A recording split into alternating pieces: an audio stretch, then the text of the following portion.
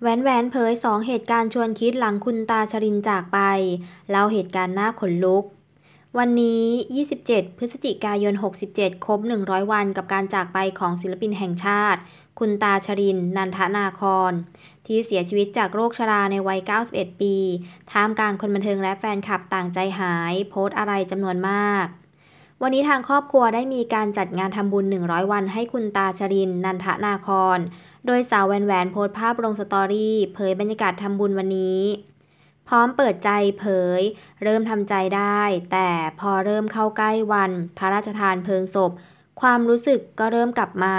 ทางด้านคุณยายอารมณ์ดีมีความสุข ไม่มีอาการเศร้าให้เห็น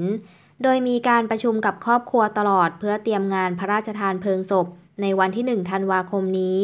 คิดว่าจะเอาอัฐิคุณตาเก็บไว้ที่บ้านหนึ่งอาทิตย์ เชื่อคุณตาอยากกลับบ้านทั้งนี้เผยเหตุการณ์เชื่อว่าคุณตามาหาลูกของตน